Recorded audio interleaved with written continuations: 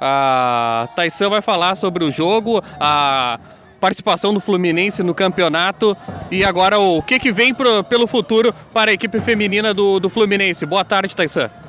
Boa tarde. Realmente o resultado não era aquilo que a gente esperava. Fizemos um bom jogo dentro de casa.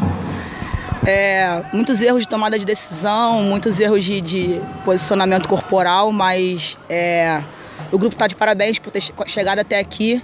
Agora continuar trabalhando, o que não pode e o que acontece muito no futebol feminino é um resultado a trabalhar todo um trabalho. O Fluminense tem sete meses de trabalho no futebol feminino, é vice-campeão carioca sub-14 com todas as categorias desde o sub-12. E esse trabalho não pode ser apagado. É, o que fica é, é, é, um resultado negativo que a gente tem que, que reverter isso aí para poder subir no ano que vem. O trabalho continua. É, se é o que a gente quer, se é o que o clube quer, é um trabalho consolidado, um trabalho a médio e longo prazo, ninguém se torna vencedor de um dia para a noite. É, parabéns ao Grêmio pela classificação.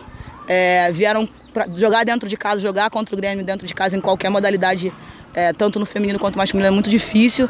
Elas foram merecedoras do resultado e, e a gente é, tem que continuar o trabalho e, e, e, continuar trabalhando. Vem o Campeonato Carioca por aí, Campeonato Brasileiro Sub-18.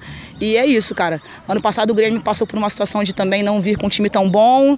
É, não foi bem na competição e trabalhou e deu uma estrutura melhor para as meninas para que o resultado agora foi esse. Então, o trabalho é isso, a médio e longo prazo e esperar porque as vitórias e os títulos eles são construídos com trabalho. E o Fluminense está construindo muito bem isso. Então, os títulos vão ser consequência de um bom trabalho.